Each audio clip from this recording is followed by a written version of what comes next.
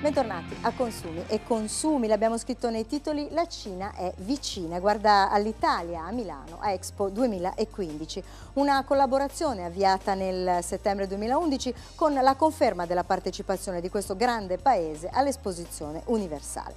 Ma ora, dopo la carta di intenti, arrivano i primi progetti concreti, progetti che rafforzano non soltanto le relazioni tra l'Italia e la Cina, ma potranno avere importanti ricadute economiche per entrambi i paesi. Ma c'è di più, perché l'Esposizione Universale di Milano sta davvero ridisegnando la eh, geografia del mondo. Sembra esagerato? Chi può dirlo? Ne parliamo con Giuseppe Sala, amministratore delegato di Expo 2015 che è tornato a trovarci. Buongiorno Sala. Buongiorno. Senta, eh, davvero, eh, lei è appena tornato da Pechino ma non è stato l'unico eh, diciamo, l'unica tappa che ha fatto nel suo viaggio. Allora, com'è andata? Ci racconti tutto.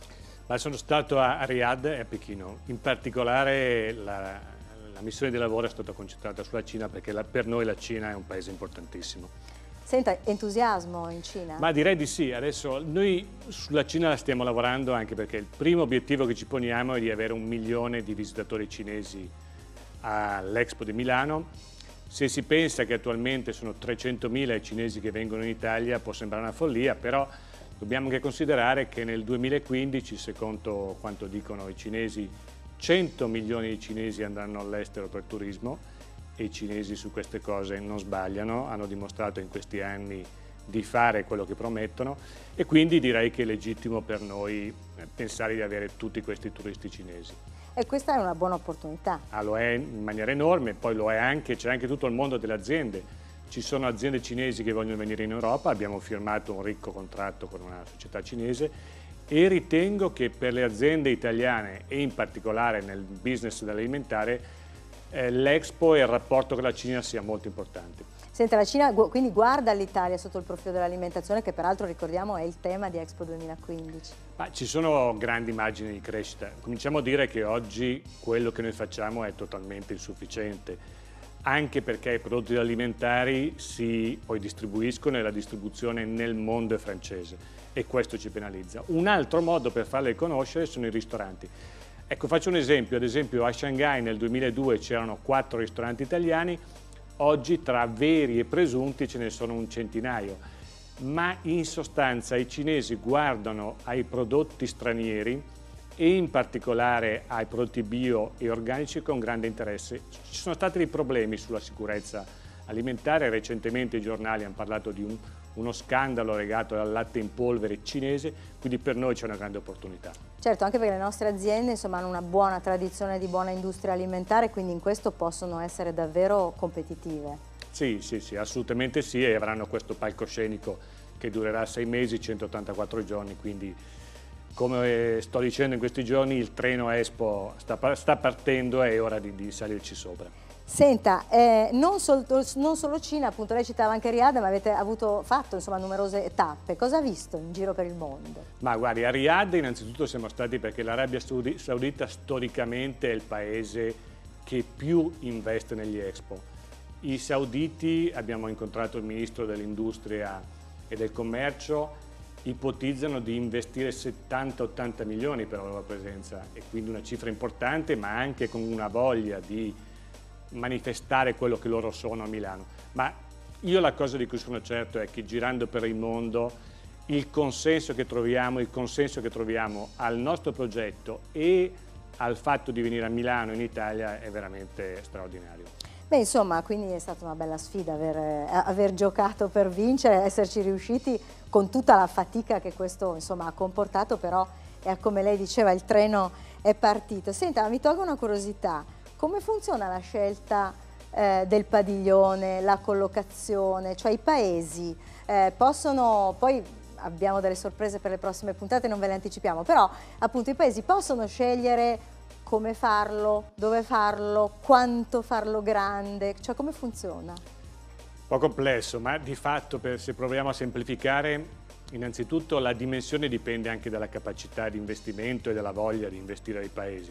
Quindi classicamente ci sono dei paesi come la Germania, l'Arabia Saudita, gli Stati Uniti che hanno, paesi, che hanno padiglioni grandi, ma ci sono paesi emergenti, il Vietnam ad esempio che chiede un padiglione grande Ecco, quindi di fatto noi vediamo che la geografia sta cambiando e non è più una geografia fisica ma si muove a seconda anche un po' di altri criteri.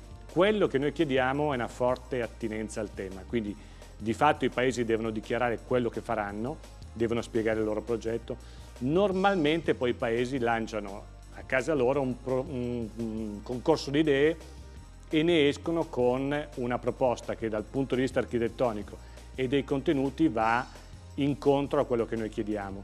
È la parte più entusiasmante per i paesi perché è il modo con cui i paesi si presentano al mondo volendo dire la loro sulla loro tradizione, sulla loro cultura, sulla loro visione del futuro legato a un tema che è il tema dell'alimentazione. Ecco, senta, in questo i paesi eh, investono anche sul loro territorio, cioè lavorano e preparano le loro popolazioni, i loro cittadini all'evento, è così? È così, ad esempio, questo, il tema di, de, della visita dei cinesi è un lavoro che stiamo facendo anche supportato dalla Camera di Commercio, supportato da enti locali, con le agenzie turistiche cinesi, tra parentesi abbiamo avuto questo incontro con i grandi tour operator cinesi e devo dire che mi sono trovato dall'altra parte del tavolo persone molto giovani, sui 30 anni, molto preparate, chapeau, il mondo cambia. Ma ad esempio gli svizzeri ipotizzano 2 milioni di svizzeri all'Expo, quindi no, è poi interesse dei paesi che fanno questi investimenti, che vengono in Italia, far sì che anche i loro cittadini vengano a vedere cosa hanno fatto.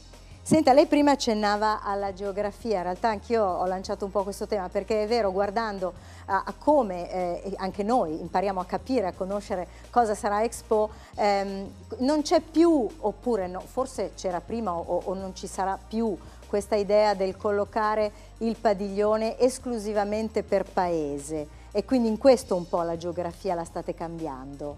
Sì, è esattamente così. Innanzitutto nei, sulla posizione del paese c'è diciamo, un, dialogo con noi e ehm, non è proprio un tema contrattuale, ma in sostanza i paesi cercano di essere vicini ad altri paesi, ad esempio c'è molta ricerca ad essere vicino al padiglione italiano, c'è molta ricerca essere vicino al padiglione cinese, al di là appunto della geografia. E poi noi abbiamo fatto questa invenzione italiana di gusto che, vista, vista poi Dopo sembra banale, ma è che in realtà ha colpito molto, e cioè i paesi spesso erano raggruppati, sempre erano raggruppati per geografia, noi li raggruppiamo per cluster tematici, cioè tutti quelli che rientrano nella filiera del caffè stanno vicini, tutti quelli che rientrano nella, nella filiera del cacao stanno vicini. Così è molto più interessante anche per i visitatori, cioè uno entra lì e è un'immersione nel mondo del caffè.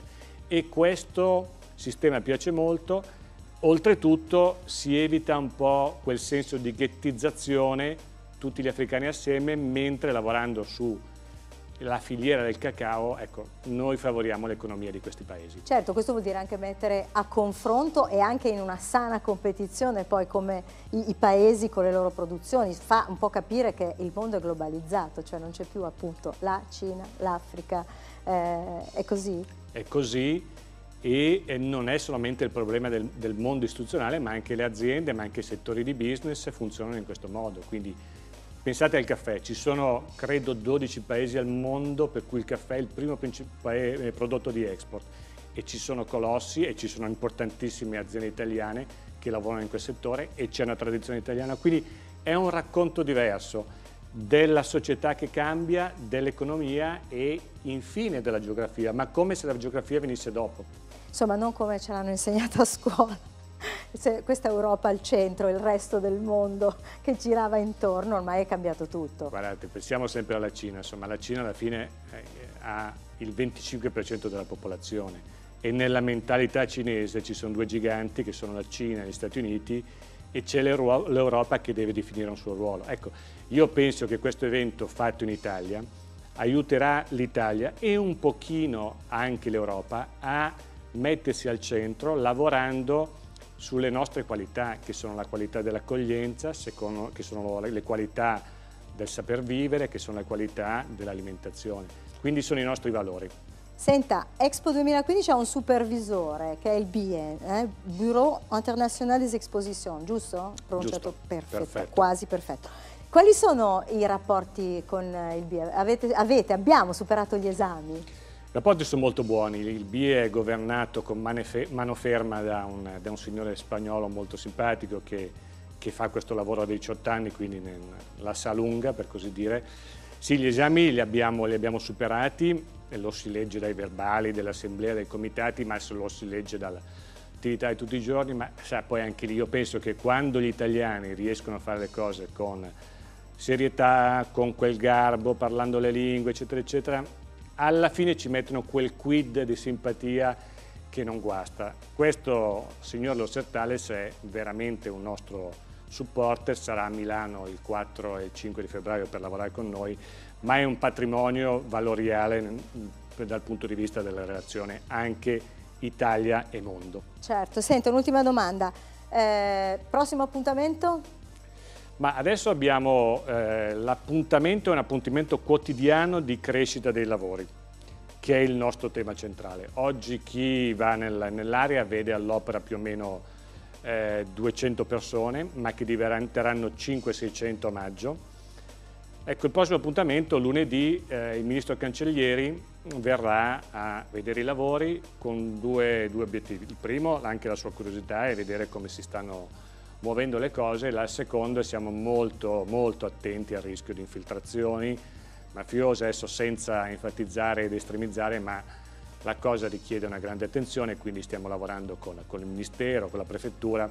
E il Ministro viene anche un po' a verificare che tutto funzioni da questo punto di vista. Insomma, questo tema è importante, è importante per Expo, ma è importante per le imprese, è importante per il Paese, quindi insomma voi su questo state lavorando bene. No, stiamo lavorando, come sempre ci sono stati e ci saranno nel percorso problemi, ma abbiamo dimostrato di saperli affrontare con tempestività, con decisione, senza troppi compromessi e quindi obiettivamente fare delle opere in Italia facile non è, ma noi dobbiamo farli e dobbiamo arrivare al primo maggio del 2015 con tutto pronto. Bene, allora grazie a Giuseppe Sala, amministratore delegato di Expo, per essere stato con noi.